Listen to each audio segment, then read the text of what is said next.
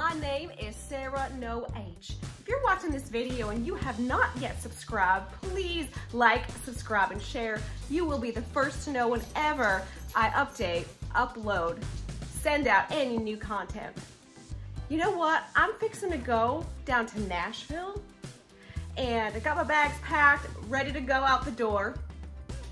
Would you guys, you guys want to come with? Perfect. All right, pack your bags. We're headed to Nashville.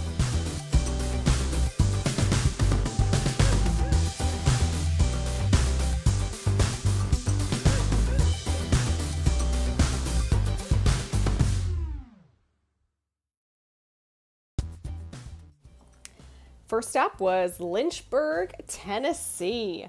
This is the home of Jack Daniels, and it's a dry county, so you cannot drink in this county whatsoever. Lynchburg is a town located in Moore County. So they have this really great area that you can walk around in, and then we headed to the Jack Daniels distillery. You could do a tour in here, and they can serve tastings because they say it's uh, quote unquote educational. This was really fun. You can pick up a Tennessee Whiskey Trail passport and you get your passport stamped, and you can also grab yourself a poker chip that says Jack Daniels on it. So I got us the Angel Share tour. We're just waiting here in the lobby area before the tour starts. It was pretty freaking warm. I mean, really warm. But here's my ticket. We're ready to rock and roll. And at the end of the tour, they give you this tasting. So you get a good uh, sampling. Our tour guide was hilarious. If you get a chance uh, to stay or visit Opryland Hotel, please, please, please do so. This is an amazing place. It's like an inside world. All of the landscaping is alive that you see here. And this is in the evening, and those are all the rooms up there. And they have lights on the palm trees. And it is just, I mean, it keeps going and going and going. Um, those are all lights up there by the ceiling. This place is just magical. It, I'm amazed at how much there is to look at and walk around. You can just walk around here for hours. Look at the ceilings.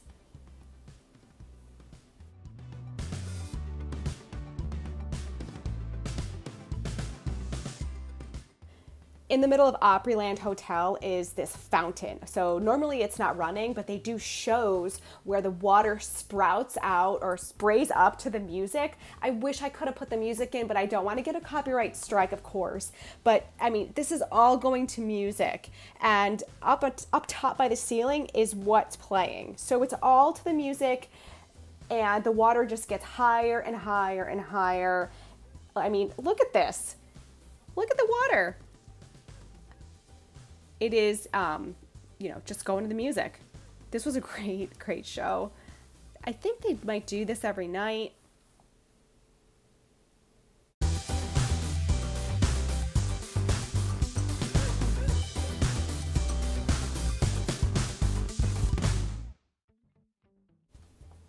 heading into downtown Nashville. This is daytime. Um, it was really, really hot when we were there, which I mentioned before. I think it was close to 90 degrees.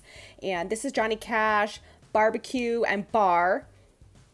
And there were people playing, of course, and crowds watching. That's a pretty famous place. Johnny Cash Museum is where it's at. So let's head inside here, take a quick look at some of the other places on the street. But we're going to go into Johnny Cash Museum. Let me show you some stuff we were in here probably a good two and a half hours. Uh, you cannot take any video in here, so I had to take pictures with no flash. Here's just a couple of things. I mean, it was there was a lot of people in there, and I didn't want to get people in my pictures. Um, this is a definite must. If you are in town, you have to go see it. Uh, there's just everything you could possibly think of in here. Look at the bag. I bought a mug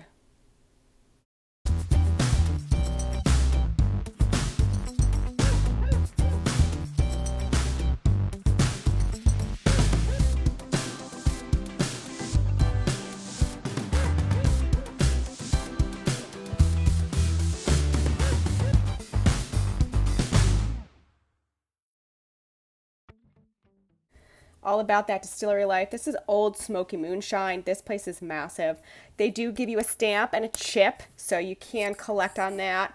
Moonshine tastings up at the bar. Here's the Whiskey Trail Passport, and then some of the uh, tastings they were giving out. Uh, that pickle, that that pickle was amazing. But um, I would, you know, warn people that there's moonshine in them before they eat them.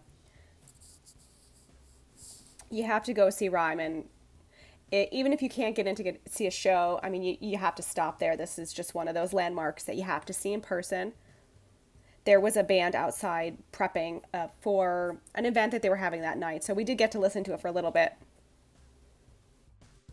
You can walk into any bar and listen to a band. This was at Bourbon Street Blues and Boogie Bar.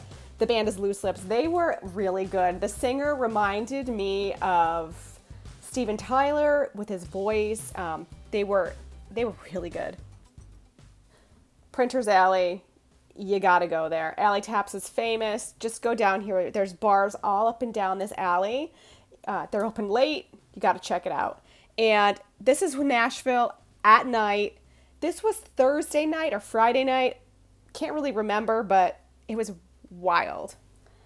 The listening room is located at 618 4th Avenue South, and this this was a great show. Um, you have to buy tickets to go, but these guys up here are the ones that write the songs for the musicians that you hear on the radio. So they were talking about Tim McGraw, Faith Hill, Miranda Lambert, and playing the songs that they wrote specifically for them and performing them the way that they had you know, imagined in their mind. And of course, they sound different because the musicians who actually put them together do it their own way. Leiper's Fork Distillery is located in Middle Tennessee, so this is another stop on the Whiskey Trail. It's family owned. You can take a tour. They do tastings. Um, I mean, look at the look at how they laid out everything in here. I mean, those are the the whiskeys that they make. We did get to sample each of them, and they it were the smoothest whiskey that I have ever had. No joke. Look at this cookbook. Would you buy this? I almost bought it. Hilarious.